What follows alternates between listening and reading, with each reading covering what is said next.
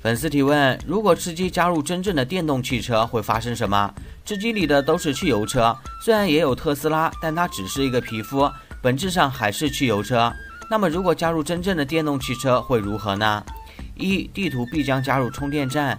电动汽车不像汽油车，可以捡油桶给车加油，电动汽车只有充电才能行驶。所以如果吃鸡加入电动汽车，肯定要加入充电站。有人说吃鸡里的油桶是燃料电池包。可以直接给电动汽车使用啊！其实这只是光子的设定而已。现实这么小小的电池包，怎么可能给电动汽车加满电呢？二，电车人人必抢。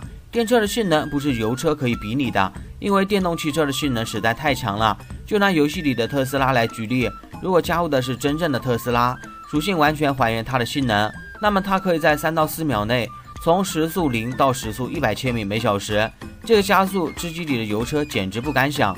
而且电车没有变速箱，加速反应特别快，刹车性能也很优异，能更快的把车刹停下来，更不用说自动驾驶等等了。